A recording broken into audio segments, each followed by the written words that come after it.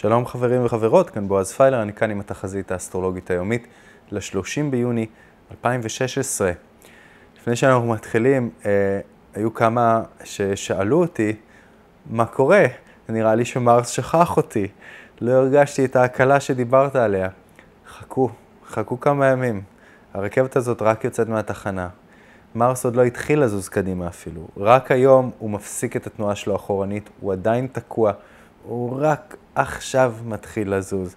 תנו לזה כמה ימים ואתם תרגישו את המהירות גוברת גם אצלכם. זה דבר ראשון.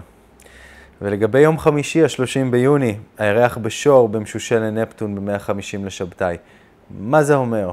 זה אומר קודם כל שאנחנו קצת אה, נאיביים, קצת לא קשורים לזמן ולמקום, לא הכי פרקטיים, לא חובה שנהיה יעילים היום. זה זמן שאנחנו יכולים אבל מאוד ליהנות בו. אנחנו יכולים ליהנות בו מדברים אמנותיים, רוחניים, קריאטיביים, מהטבע, מהחושים. כל הדברים האלה הם נהדרים. לדברים שקשורים בעבודה, טיפה פחות יום מוצלח לדברים כאלה. אה, מה שכן, חשוב חשוב בימים האלה להעז, וכל הזמן לעשות דברים חדשים. לא לשכוח כמובן את הזהירות ואת שיקול הדעת, אבל כן להעז. זה לא סתם מדגדג לנו באצבעות עכשיו לנסות דברים חדשים, להיות אמיצים ולעשות בעצם דברים שמפחידים אותנו.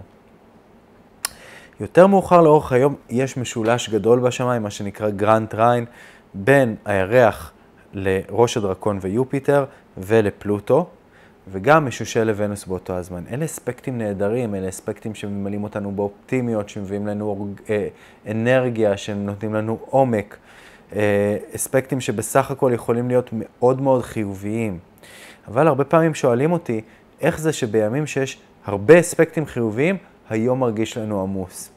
אז כן, כשיש הרבה אספקטים בשמיים, זה כאילו התזמורת מנגנת בשיא הכוח. ונכון שבמקרה הזה המוזיקה היא נעימה לאוזניים, אבל הרבה פעמים זה עמוס. הרבה פעמים אנחנו מרגישים שהיום הזה הוא זז מהר, ויש כל מיני דרישות ורצונות מאיתנו.